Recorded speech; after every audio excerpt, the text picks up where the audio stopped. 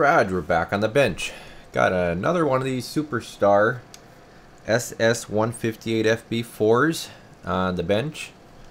And I've done one of these before in the past. Well, I've done a few of them, but I know I've done at least one video before. But uh, just figured I'd throw another video out on one of these, show you guys what they do in case anybody missed the other one.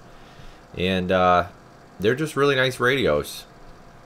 If you guys want something a little bit cheaper, then uh, RCI 99N4, but you want the same amp section, same power, you can go at one of these.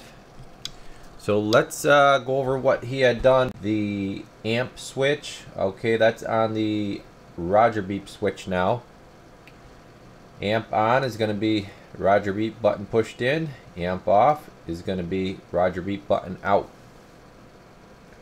The only issue with running this with an amp switch is when the amp is off, you basically have to put your RF power all the way up to get about three and a half, almost four watts carrier. Now, then when you switch your amp on, your RF power is going to be too high of a carrier. You're going to be over 100 watt carrier on AM. So you definitely have to roll your RF power back to half or less with the amp on. Otherwise, if I set this up with RF power all the way up and the amp on to not be more than say 75 80 watt carrier which is what I recommend max for these then when the excuse me when the amp is off you're only going to have about a watt and a half carrier on AM. It's going to go down to one or uh, it's going to go down to zero to one and a half watts which is I mean there's really no use really talking on a, a watt and a half. Uh, so that's the only problem with these with the amp switch is if you try to set it up one way then it doesn't completely work the other way as far as amp on amp off. So just keep that in mind hopefully I didn't lose you here. I know I'm kind of confusing probably some people, but I'm just going to go over it real quick. When the amp is on, power half or less. When the amp is off, you could do all the way up, okay? We're gonna, and I'm going to go over the levels, but all the way up or all the way down, wherever you want it for amp off. All right, let's see where she's coming in at and turn the mic gain down. We'll check the two meters like we always do. This way we get a happy medium. 50 watt slug on the left. This is with the amp off. RF power all the way down. It's just barely keying. That's 0.1 of a watt. and it's not even giving us four, about three and a half. Alright. Let me show you what it's swinging. Peak barefoot, RF power all the way up. Hello, radio. Oh, I gotta, helps if I turn the mic gain up. Hello, radio. Check, check, check, check, check, check, check, check, check. Audio. Five, five, five, five, five, five, five, five, five, five, five, four. All right, about 40 plus. And now we can take this out of here, and we're gonna check our carrier with the amp off. Or I'm sorry, the amp on. Peak back off, amp on, power all the way down. Just key in. Six watts, about six watts with the amp on, power all the way down. We'll start rolling it up. So there's about 12, there's 12 o'clock right there. If you go past that, it's going to go over 100. It's actually going to go up to about 1 115-ish. So don't don't run it up that high, but I have to set it like that because with your if your amp was off and I set it for a max 80, 75 80, you're to key basically nothing with the amp off. All right, let's take this out of here. We're to put in the uh, let's do the uh, 500 watt slug. All right peak kit on. Power 12 o'clock, amp on, mic gain all the way up. Hello, radio check, audio, 55555555555, audio, about 475, hello, check, check, check, check, check, check, check, audio, 55555, 450, 475 clean. Alright, and what else did I want to show? Got to show it on the scope. So let me turn that off. Oh, let me show, uh, no, I know what I forgot to do. I forgot to show sideband. Here's sideband. Turn that mic gain back up. Here's RF power all the way up. Amp is off right now, sideband power. We're just going to look at the LP because I have the 500 watt slug in there. I'm not going to switch it back out. Audio check, audio check, break, break, break, break, audio check. So almost 30. He's always got to get turned down on sideband, otherwise they're uh, really nasty. And amp on. Peak's already on. Hello, audio. Yep. She's showing. She's showing 500 peak uh, on the bird.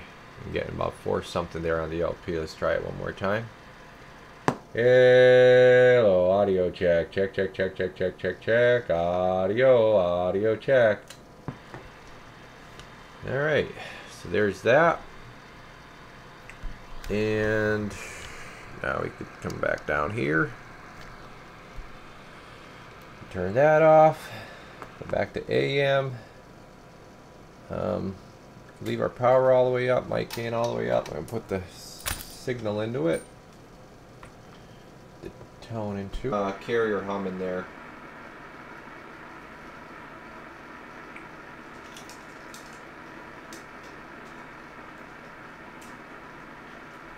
Let me, uh, hold on a second here, I just want to turn the amp on. Here's with the amp on, see if it makes any difference. One, one, one, two, three, four, five. Audio check, audio check. Break, break, that's with the amp on awesome audio. She's got great audio. As you can see, the amp is on. There's what we're doing output wise. One, two, three, four, five. Audio check, audio check, break, break. All right. Let's get her hooked up to this spectrum analyzer and uh, we'll be right back. All right, we got her hooked up to the spectrum analyzer and I'll just kind of run over this here quick, show you five so you get 5 megahertz. Okay, really nice clean radio. Can't really ask for anything more out of a Ranger export. That's who uh, makes these superstars is Ranger. It's a Ranger board. Stop 15, we'll go to 30. Got one little spur trying to start over there.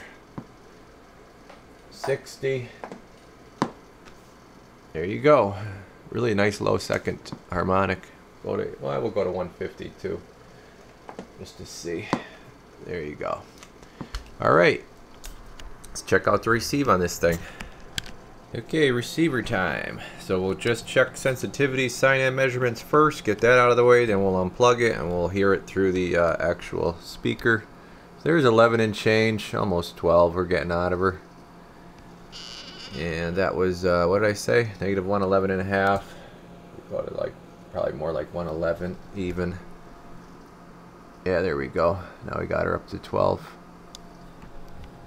Pretty darn good for a, a radio with a built-in amp with the fans and everything and all the extra crap that goes on with these. And you got uh, you got everything going through that amp section. So really, really uh, happy about the way this receive the receive on these uh, come out. So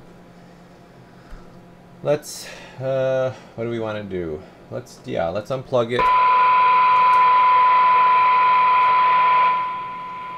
No problem hearing it in there. Let's dial it down at 30% uh, to 130. There's 130. Okay. See if we could hear it in there. Yep. Alright, now let's take up our modulation.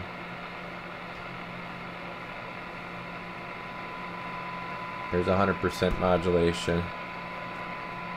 Now we could really hear it at 130.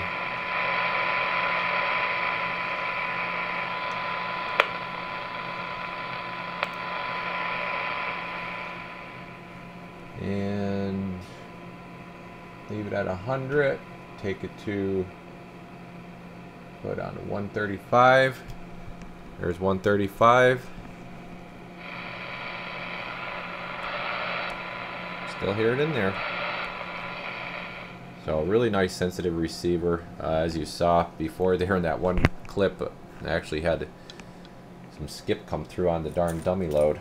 So that was, I think, the first time I've ever had that happen. That's That just tells you guys kind of conditions we're having right now. I mean, we not ever see conditions like this for a long time. That's why uh, you're hearing a lot of, uh, just a lot of you know, skip out there that you just haven't heard in a long time. Alright, so I think that pretty much covers it. We went over, yeah, we went over everything. Um, again, I've mentioned this in other videos. The counters on these, it's going to start high. Then when it warms up like it is now, it's going to drop down right where it needs to be. Uh, the only thing is, now if you're a channel scanner, and you go up to different see now it goes to 249 you, there's no way you could ever dial these in for every single channel to be dead on. So what I try to do is I try to make sure it's dead on for like the channels that I know you're going to be on you know like the middle of the CB band type stuff.